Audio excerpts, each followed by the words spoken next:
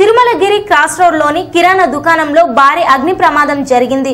నాలుగవ అంతస్తు వరకు మంటలు చెలరేగాయి. సుమారు పదిహేను లక్షల వరకు ఆస్తి నష్టం జరిగింది.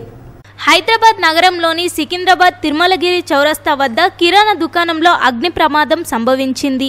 దట్టమైన పొగతో కిరాణా దుకాణం నుంచి మంటలు ఎగిసిపడ్డాయి. స్థానికుల సమాచారం మేరకు ఘటన స్థలానికి చేరుకున్న అగ్నిమాపక సిబ్బంది మూడు ఫైర్ ఇంజన్లతో మంటలను ఆర్పివేశారు.